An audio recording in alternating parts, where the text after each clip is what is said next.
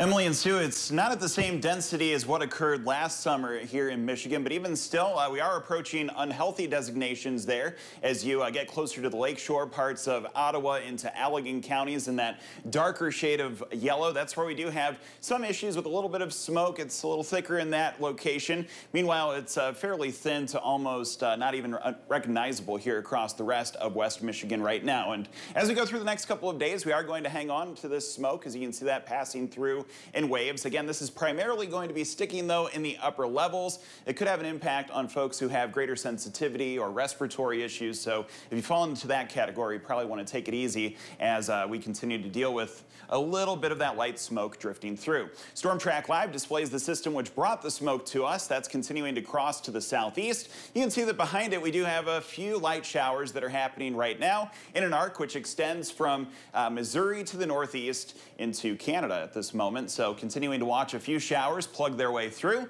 You can see that primarily we're dealing with some rain as you head further south into portions of Allegan and Barry counties. Looks to be a little bit of wet weather there in Wayland, extending east near Hastings. Hamilton picking up on some rain at the midday hours here.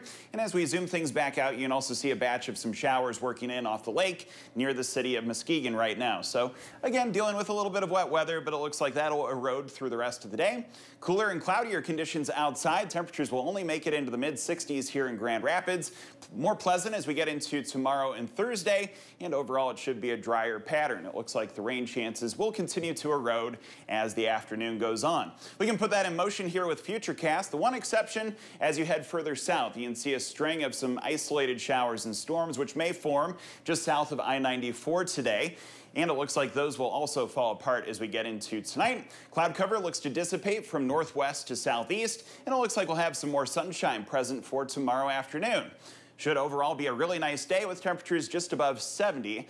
And then as we get toward the later portions of this week, we'll have another chance at some rain return on Friday. Cloudy skies right now over the Gerald R. Ford International Airport. And our temperatures, as we check those out, you can see that those are stationed in the 50s for most locations where the cloud cover is not as thick, mainly points south. That's where we've seen temperatures hop into the 70s, including Kalamazoo and Coldwater. Meanwhile, temperatures stuck in the 50s for points under the clouds. About a 20 degree reduction in temperatures in Grand Rapids, a 12 degree difference versus yesterday in South Haven, 17 in Big Rapids. Have to remember, most locations were able to rise into the 80s yesterday afternoon, so a pretty large difference in temperature. And the wind is pouring in from the northeast between 5 and 10 miles per hour. Here's a look forward then at the eight day forecast, hanging on to a small chance of rain into the afternoon, especially for points south. That's where we could see, again, some more showers form. 72 72, mostly sunny skies for tomorrow.